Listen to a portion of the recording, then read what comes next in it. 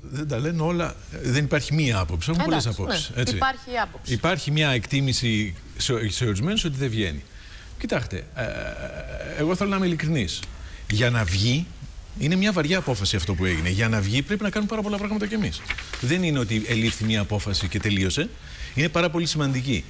Με την έννοια ότι μειώθηκε το χρέος της Ελλάδας κατά περίπου θα μειωθεί κατά 100 δισεκατομμύρια δραχμές. Αυτό δεν έχει ξαναγίνει ποτέ στην ιστορία χωρίς χρεοκοπία. Έτσι. Άρα αυτό είναι πάρα πολύ σημαντικό. Κύριε Κάψη, συγγνώμη να σας διακόψω γιατί το ακούω, το λέτε συνέχεια, όχι εσείς, όλοι από την κυβέρνηση. Κυβέρνηση. Τα 100 δις φαντάζει ένα τεράστιο νούμερο. Αλλά αν σκεφτεί κανείς ότι πριν δύο χρόνια δεν υπήρχαν αυτά τα 100. Δημιουργήθηκαν δηλαδή μέσα σε δύο χρόνια. Όχι, δεν δημιουργήθηκαν μέσα σε δύο χρόνια. Δημιουργήθηκαν μέσα σε πάρα πολλά χρόνια που έχουμε συνέχεια ελλείμματα και που συνεχίζουμε να έχουμε δυστυχώς ελλείμματα. Δηλαδή, αυτό που είχε πει και ο κ. Σαχινίδης στη Βουλή, και να μηδενίζαμε το χρέο μας, εάν δεν λύσουμε το πρόβλημα των ελλημάτων, δηλαδή το ότι ξοδεύουμε παραπάνω από όσα μπορούμε να μαζεύουμε ε, από φόρους, αν δεν το λύσουμε, σε 10 χρόνια θα έχουμε- ξανά έχουμε το ίδιο πρόβλημα. Άρα, αυτό το οποίο λέμε είναι ότι έχουμε αυτή τη στιγμή το χρόνο και την σταθερότητα ότι δεν θα χρεοκοπήσουμε για μια σειρά ετών μπροστά μας και μέσα σε αυτό το διάστημα πρέπει να κάνουμε τεράστιες αλλαγές σαν κοινωνία. Και δεν μένω μόνο στην οικονομία, διότι είναι ο- ο- να αλλάξουμε συμπεριφορές πλέον ο- ολόκληρη κοινωνία και δομές. Αν δεν κάνουμε αυτές τις αλλαγές, προφανώς δεν θα γίνει τίποτα. Εάν προχωρήσουμε, και αυτό είναι το, με- η μεγάλη πρόκληση, και αν θέλετε και πολιτικά για μετά τις εκλογές, αυτό είναι το ζήτημα από τα κόμματα.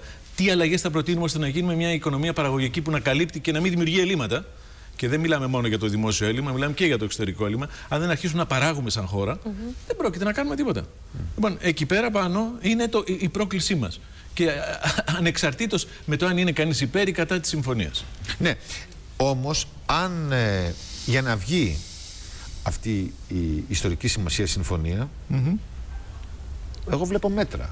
Δηλαδή, πώς θα βγει; Τι εννοείται; Εννοώ, και μάλλον ρωτώ, θα πάρθουν και νέα μέτρα, θα έρθει νέο πακέτο μέτρων. Πώς θα Τον βγει, πώς Ιούνιο θα, θα, βγουν τα πρέπει νούμερα; να συζητήσουμε για το 2013 και για το 2014. Ναι. Έτσι. Αυτό και, είναι θα, βέβαιο. ναι, και θα ληφθούν προφανώς και νέα μέτρα. Έτσι, γιατί εξακολουθούμε να έχουμε ελλείμματα. Α, α, α, δεν ξέρω αν το έχουμε συνειδητοποιήσει αυτό. Να μηδενίζαμε αυτή τη στιγμή το έλλειμμα, το, το χρέος, να το μηδενίζαμε.